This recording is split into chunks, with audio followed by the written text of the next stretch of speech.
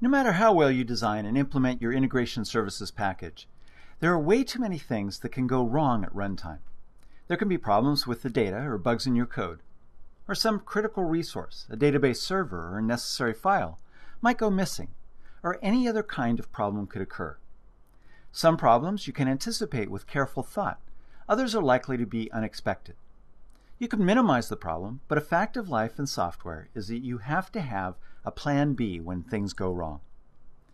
Integration Services has a variety of tools and provides various techniques you can use to see what a package or task is doing and how it is doing it, as you'll see in this course.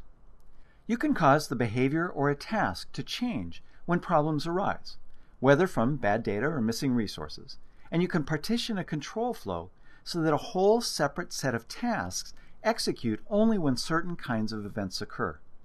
You can pause package execution at predefined breakpoints, conceptually similar to breakpoints in programming tools, but quite different in practice.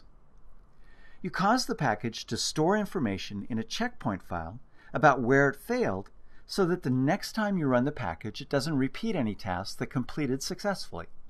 And you can log many kinds of information about the package as each task executes. In this course, you'll learn about these debugging, error handling, and logging features that can help you diagnose most kinds of problems in your package.